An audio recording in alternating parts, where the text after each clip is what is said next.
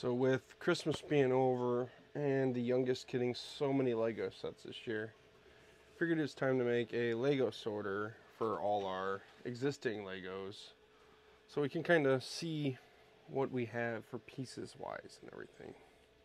Pieces wise? Pieces? Yeah, I guess that's right. Pieces wise.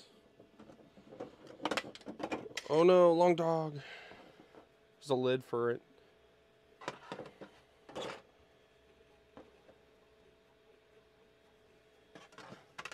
And then you see it just gets smaller and smaller.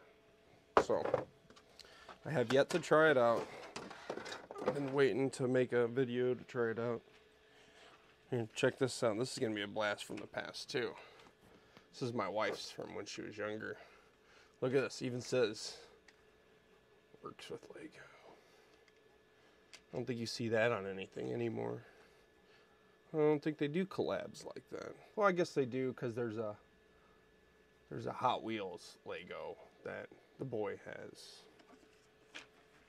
that you can actually you build the motor and stuff on it, and it's uh, and it's Lego. Oof, the hairs. There's a full cow in there. Oh, I just seen the Joker.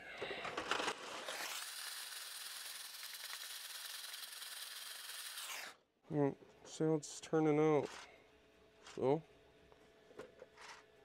okay. Let's go a little further down. Okay. Oh, the hair, man, the hair. Oh. All right, we got a couple guys in there, not so many.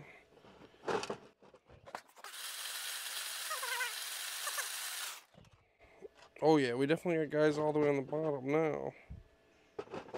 All right.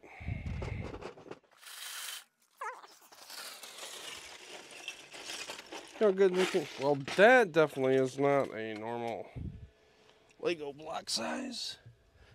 That's uh, one block up, I think.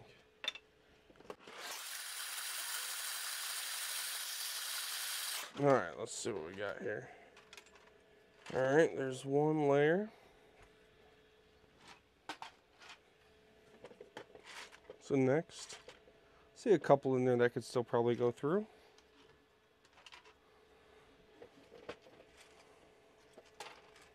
Some of those could probably still go through, I would guess. Probably because there's a lot in there.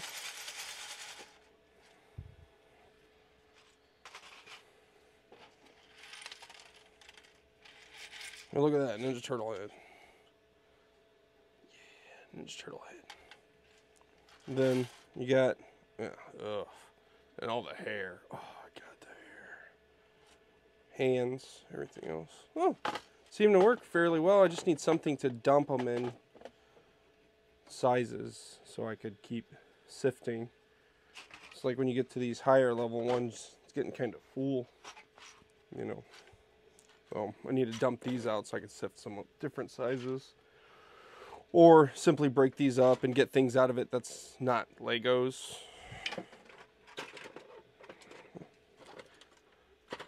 And then when they're empty, you could stack them all on top of each other and throw the lid on and it's a nice compact little system. Yeah. You just got tubs and tubs of Legos like I do and you're trying to actually do something with them to maybe build something. This is definitely the way to go. Uh, easy 3D print.